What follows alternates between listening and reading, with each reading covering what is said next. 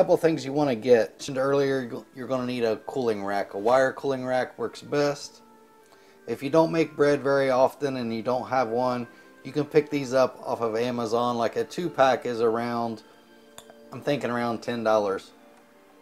If you want to have perfect slices of bread, you can get a device made for that. Also, I picked this up off of Amazon a few years ago. It's actually worked great. Um, I think it was around six or seven dollars. Basically, it has an adjustment on the end here. You can control how thick the slice is. Um, because homemade breads are usually a little more dense than store-bought breads. I usually keep it on the thinnest slice. And then you're going to need a bread knife. Basically, the bread slicer has a slot where you put the knife. You put the loaf in until you hit your thickness plate, and then you just slice.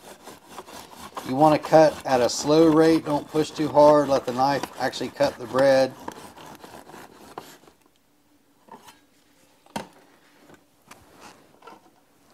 So here's what the first slice looks like.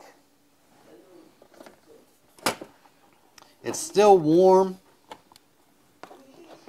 It's not like hot, but it's still warm. It smells so good.